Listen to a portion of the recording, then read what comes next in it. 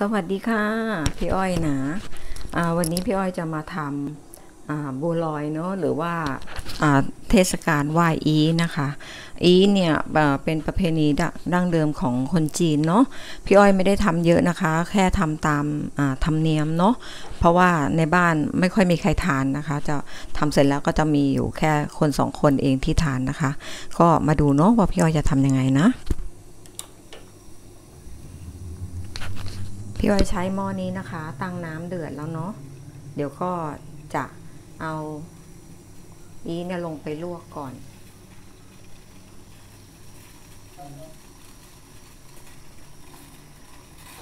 อันนี้แป้งปั้นเองนะคะ จะใช้เป็น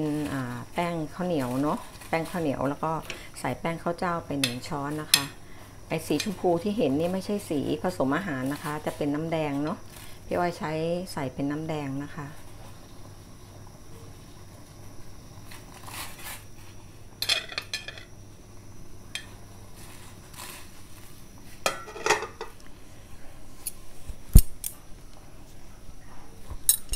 วันนี้อยู่ไม่อยู่ปวดแขนเฉยเลย ที่จริงแล้วอะถ้าถ้าทางทางบ้านเนาะที่ตอนอยู่กับเตี่ยกับแม่เนาะเวลาปั้นจะทำเยอะนะคะ ก็จะใช้เป็นกระดาษเนาะรองเขาจะได้ซับน้ำแต่อันนี้พี่อ้อยไม่ได้ใช้นะคะ ก็เลยติดจานหน่อยต้มให้เดือดเลยนะคะ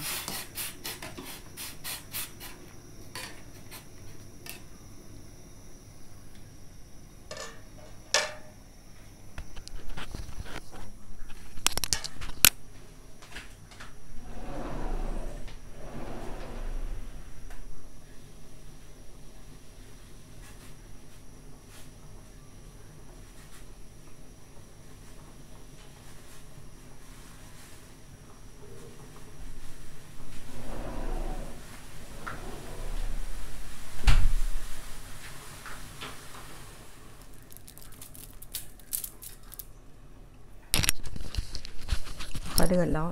พี่อ้อยจะติดเตานี้นะคะ เป็นเตาไฟฟ้าเนาะ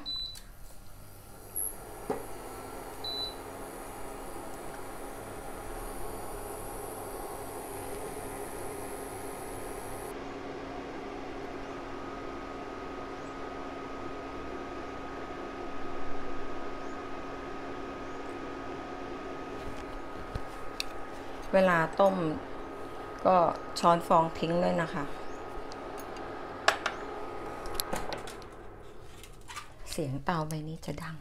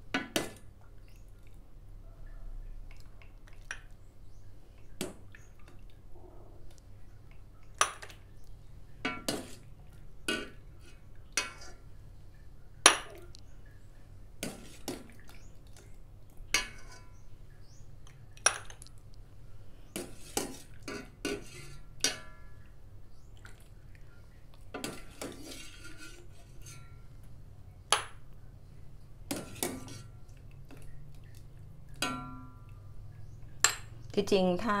สมมุติว่าถ้าเราไม่ไม่มีแป้งข้าวเหนียวอยู่ในบ้านนะคะทำง่าย ๆ ถ้ามีสาคูเม็ดใหญ่เนาะก็ใช้เป็นสาคูได้ แต่พี่อ้อยมีแป้งนะสาคูหมดยังไม่ได้ซื้อเข้ามาไว้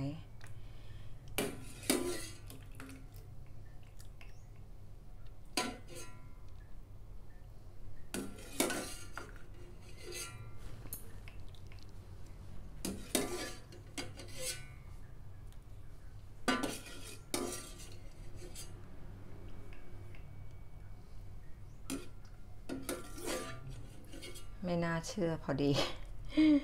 พอดีเลยทำออกมาได้พอดีมาก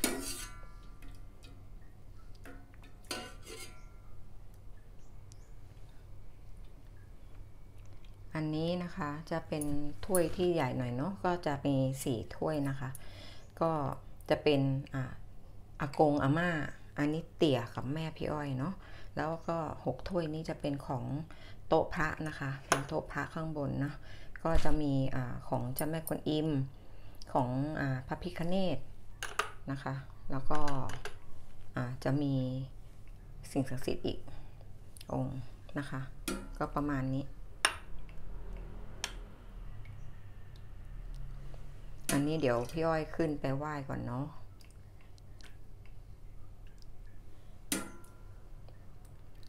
อันนี้จะไม่หวานจัดนะคะ หวานน้อยๆ เสร็จแล้วค่ะ จะทำทานก็ได้ทำไหว้ก็ได้เนาะไม่ก็ไม่ได้จำกัดอยู่แล้วว่า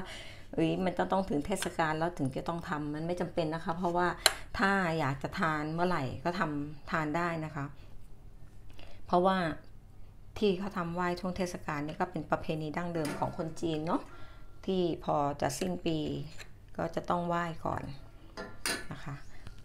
ก็ขอบคุณมาก ๆ นะคะ ขอบคุณที่เข้ารับชมคลิปนี้นะคะ ชอบพี่อ้อยก็ฝากกดไลค์กดแชร์เนาะคอมเมนต์ใต้คลิปพูดคุยกับพี่อ้อยได้นะคะ